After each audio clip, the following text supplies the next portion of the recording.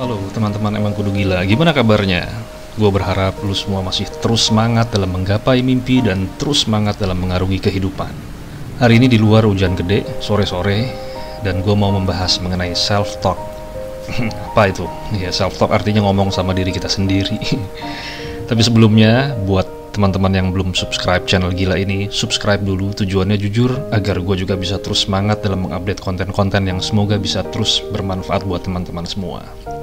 So, berapa banyak lu semua yang sudah melakukan self-talk dalam kehidupan sehari-hari? Artinya, berapa banyak teman-teman semua yang sudah melakukan berbicara sama diri sendiri dalam kehidupan sehari-hari? Ya, mungkin kalau kita berbicara sama orang lain, ya itu mungkin hal biasa ya. Tapi ini ngomong sama diri kita sendiri. Gila kali. Ya memang kudu gila kalau kita mau merubah persepsi hidup kita agar jauh lebih baik dari sekarang. Lagi pula normal itu kan tergantung dari mana persepsi lu melihatnya. Bahkan ada orang bilang normal itu nggak ada. Oke Sobat TKG, fungsi berkomunikasi adalah agar lawan bicara kita mendengarkan apa yang kita bicarakan sehingga dia mengerti. Jadi intinya agar si lawan bicara mengerti, bukan hanya mendengarkan. Karena ada juga yang mendengarkan ya, masuk kuping kanan, keluar kuping kiri. Bahkan ada yang masuk kuping kanan, keluarnya kuping kanan juga. Jadi sama aja bohong. Nah, Proses itu dapat kita lakukan juga agar diri kita bisa mendengar dan mengerti. Mengerti tentang apa? Ya, tentang apa yang sebenarnya lu inginkan. Mengapa itu perlu? Karena gini, dengan kita berbicara kepada diri kita sendiri, itu sama halnya ketika kita membuat orang lain mengerti. Lalu tujuannya apa? Tujuannya sangat bermanfaat sekali buat kehidupan sehari-hari. Yang pertama, lu akan bisa lebih jauh percaya diri. Yang kedua, apa yang lu inginkan dalam hidup itu akan lebih cepat terwujudnya. Ketiga, kita menjadi lebih berterima kasih sama diri kita sendiri. Dan yang keempat, yang pasti lu akan jauh lebih bersyukur dengan kehidupan yang sudah diberikan sama Tuhan Yang Maha Esa. Lu kapan waktu yang tepat ketika kita berbicara dengan diri kita sendiri? Sebetulnya kapan aja.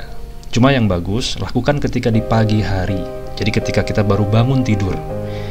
Dan yang paling enak adalah lu cari cermin dan lu bilang sama diri lu sendiri, "Hai, sebutkan nama lu, misalnya nama lu Denny. Hai Denny." Terus katakan bahwa hari ini akan menjadi hari yang luar biasa. Hari ini akan menjadi hari yang penuh dengan kebahagiaan. Gimana? Siap? Siap. Karena saya mencintai diri saya sendiri. Saya adalah makhluk yang hebat dan lain sebagainya yang mengandung makna-makna positif. Atau misalnya ketika lu saat ini dalam kesulitan. Kesulitan apa? Kesulitan apa aja. Misalnya lagi sedih, ditinggal sama pacar. Lagi susah, gak punya uang. Atau lagi sakit, dan lain-lain. Katakan pada diri sendiri bahwa saya mencintai diri saya sendiri. Saya berhak mendapatkan kebahagiaan. Hidup saya di planet ini luar biasa, penuh dengan petualangan yang menantang saya senang menjadi diri saya sendiri. Apa pun masalah dalam kehidupan saya, saya yakin saya dapat mengatasinya, dan pada akhirnya semua akan baik-baik saja karena saya sangat mencintai diri saya. Sobat EKG, berapa banyak manusia di luar sana yang sudah lupa sama diri sendiri? Ya, mereka bisa berterima kasih sama orang lain, membayar orang lain, memuji orang lain, tapi sebaliknya mereka menggunakan dirinya sendiri untuk bekerja over limit dan jarang memperhatikan dirinya sendiri, apalagi berterima kasih. Padahal diri kita ya cuma ini aja, cuma satu-satunya aja. Coba suatu waktu sempatkan untuk merenung bahwa kita seharusnya tidak boleh melupakan diri kita sendiri.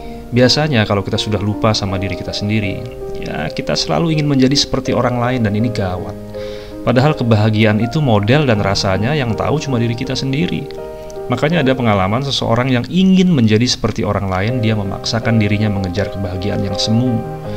Sampai dia mengorbankan orang lain dan dirinya sendiri untuk mencapai kebahagiaan tersebut. Ketika prosesnya sudah tercapai, jreng. Lah kok gini ya? Nggak cocok. Akhirnya dia bilang sama dirinya sendiri, aduh mendingan posisi gue yang dulu deh.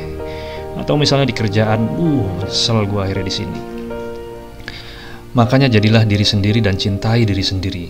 Bukan hanya sebatas konsep, tapi lakukan komunikasi kepada diri kita sendiri. Saya sehat, saya kuat, saya bahagia.